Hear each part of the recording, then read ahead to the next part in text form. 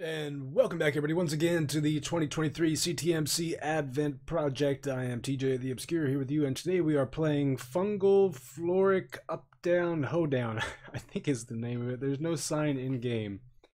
Map by Sweater? Sweater CS? Oh, maybe it's here. Nope, this is just materials. Okay. Um, we will take the things. Do we need all the, the things or just some of it? I'll leave a little of the things here. I guess we can always make gear if we need to, right? It's a crafting game. We can craft things in this game. I think so. Ooh, I'm not sure my computer likes this version of Minecraft. Hey, there's stuff down there. I guess maybe we have to go up and down? There's not much guidance. Not much knowing what we're supposed to do.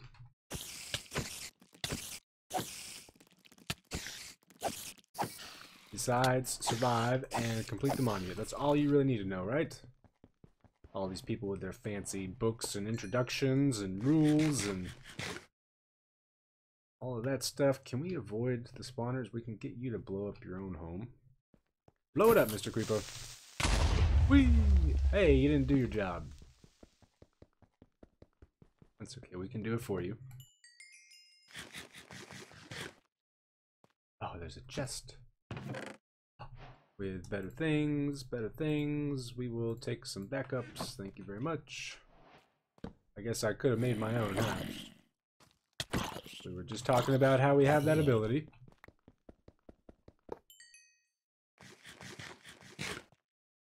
Oh, it goes deeper. It always goes deeper. I don't trust you. A little mushroom. Oh my gosh, a spider jockey.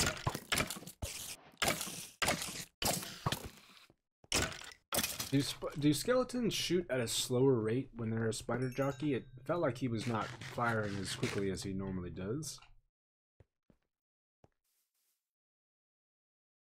I'm always thinking, how can we best avoid all of the fun stuff? Not really. Oh, that was not cool. Fine, we'll just go fast then. Which may not be a great idea given things. Surprised I didn't do more damage. feel like it should have done more damage. Oh look, we're going this way. Okay. Okay. I'm going. Oh, we took a lot of damage there. Can we, um, boop, boop, boop, boop, boop, boop, boop. Not here. I'm not real. Leave me alone, please. A one durability shield. I mean, you never know, right? Just one creeper blast is all it takes. I don't know how that works. Like, I assume the creeper does like a set amount of damage, and then that translates to the durability. So if the creeper does more damage than durability, you end up taking the damage, right? I know that there are people who test all of this stuff out. I am not one of those people. Um. whee. No. I didn't know the guys next to me were um were skellies. Now the good news is that the second go around we should have an easier time, I imagine. We've set things off. Although I've noticed in maps that spawners seem to like reset, which is really cool if they do. And prevents that strategy of cheesing things. Um, let me through, let me through, let me out of the tree, please.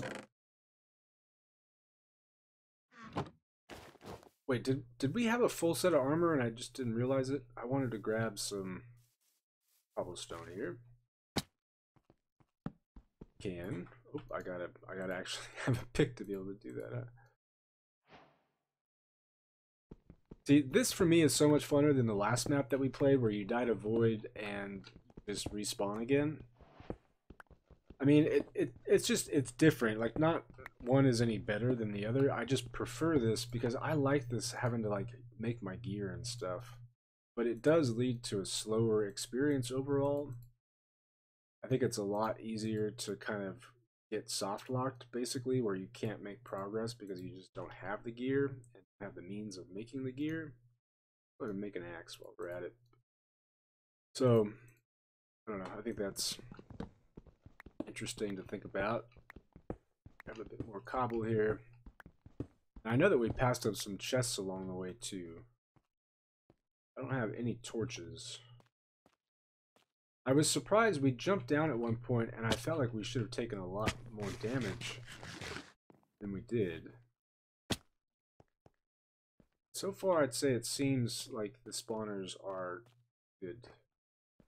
Not going to be set off again.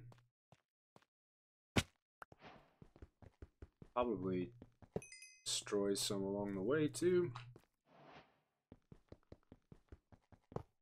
Just to make our job a little easier on the way back. We need to get to the Skelly spawner. Ideally be out of range of the blade spawner.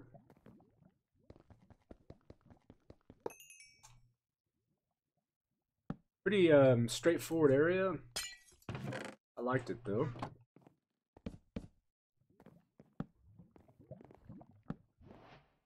Looks like we can't burn things down if I had to guess. For me, the trip back is always, you know, exciting. Am I going to lose the objective? Am I going to fall victim to some spawner that we did not disable? Am I going to get lost?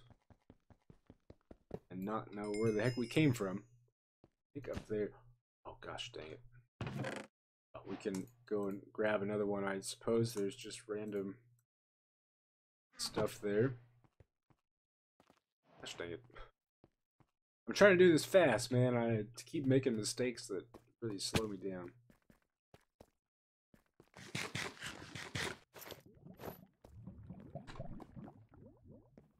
Just jumped in the void. Okay, let's not put it on our bar. where our torches normally go. Or where we sometimes scroll to accidentally.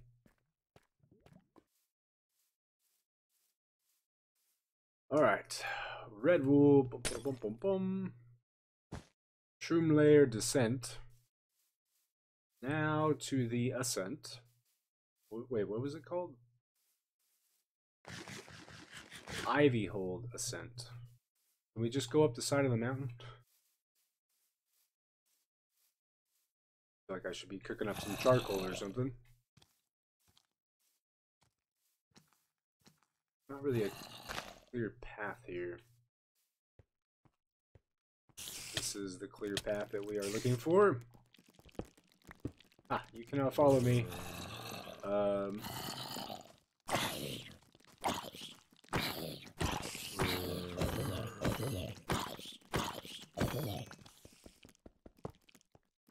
and a one, and a two.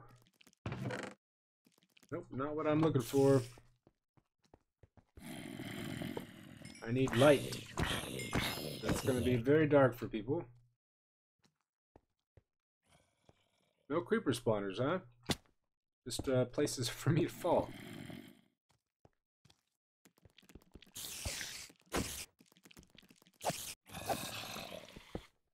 I love seeing stuff from new map makers because you kind of get used to people's styles, and I also feel like people kind of, you know, as somebody who's done like a lot of writing and stuff, and taken a lot of writing classes and who teaches writing, I feel like people kind of fall into the trap of just kind of doing what others have done before them, which you know, not a terrible idea, right? Like if it's worked in the past, it's you know something that maybe works now. But um, I wish you know we tend to see then less kind of experimentation and stuff. Uh, okay, I get it. You guys don't like me. Just hide in my corner, please.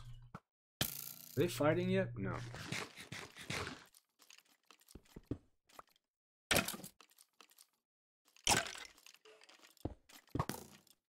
I think he can still get to me. Oh, you cannot shoot. Oh, wait, did, can he shoot me in here? Did they finally fix that where the skeletons can't shoot when they're inside of you? Thing. Looks like there's maybe something. Oh, we actually made that jump. Shocking. Things, things, things, things, things, things. Place all the stuff. Trust your ivy.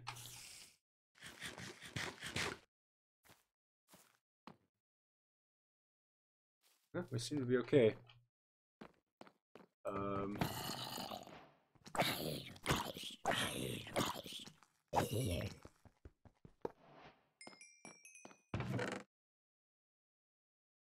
Better sword. A perfect place for a trap, no?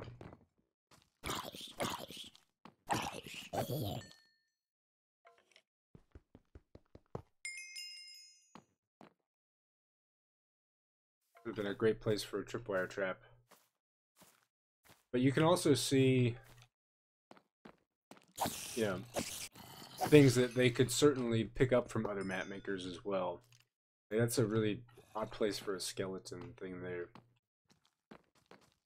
Unless maybe you're using it as like a distraction for the player.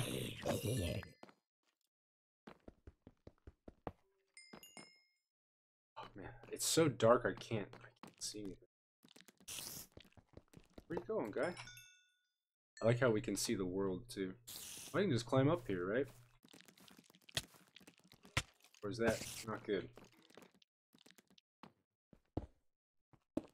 You're gonna follow me, you sneaky, sneaky guy, you. Just bypass everything. If I go straight to the top? Look.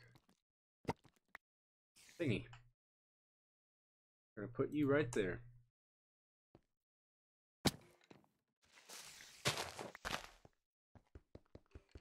I assume this is where we want to go.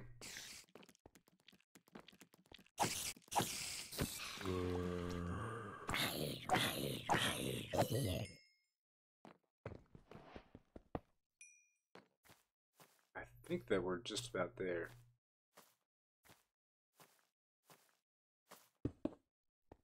Oh gosh, don't jump off.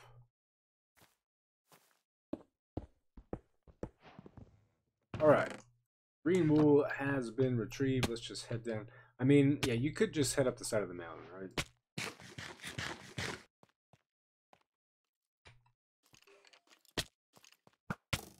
Skeleton. It's killed.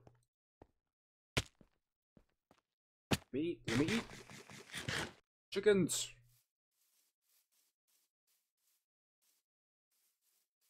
And I think this map might benefit more from like kind of you know, I often tell my students like at least in the Western rhetorical tradition, we assume that the reader is dumb.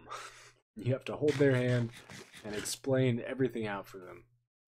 Um, I think that you may need to do, do the same thing when making maps. Like, just assume the player is really dumb. And I think I'm a pretty good example of that, too. Alright. We have defeated fungal or fungal something, hoedown, up and down. Fun little map. I really liked that kind of chase down to the bottom. And then you're, oh man, the void right there. Like, it's such a classic kind of setup, but yeah, it uh works really well. Anyways, that's going to be it for me for today. Thanks for watching. Hope you enjoyed, and I will see you next time.